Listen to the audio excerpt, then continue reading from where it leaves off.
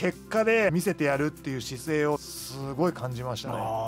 川村さん的にこのはい。ワールドカップの MVP、KVP はい。ちょっと何言ってるか分かんないですけど。今回のワールドカップのメンバーで選ぶのめっちゃ難しいんですけどね、はい。KVP 一体誰でしょうか？比江島誠だ